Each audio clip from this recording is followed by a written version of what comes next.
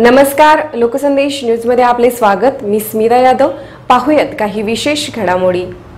केंद्रीय मंत्री नारायण राणे यांच्या प्रतिमेचा दुग्धाभिषेक घालून संबंधित शिवसेनेच्या कार्यकर्त्यांवर त्वरित गुन्हे दाखल करून कारवाई करा आमदार सुधीर गाडगीळ यांची मागणी.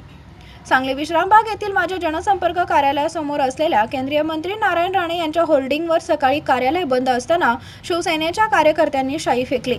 याच्या निषेधार्थ जनसंपर्क कार्यालयासमोर सदर घटनेचा निषेध करत केंद्रीय मंत्री नारायण राणे यांच्या प्रतिमेचा दुग्धाभिषेक घातला व संबंधित शिवसेनेच्या कार्यकर्त्यांवर त्वरित गुन्हे दाखल करून कारवाई करण्याबाबत तक्रार विश्रामबाग पोलीस स्टेशन येथे दाखल करण्यात आली. यावेळी भारतीय जनता पार्टीचे सर्व पदाधिकारी नगरसेवक व कार्यकर्ते उपस्थित होते.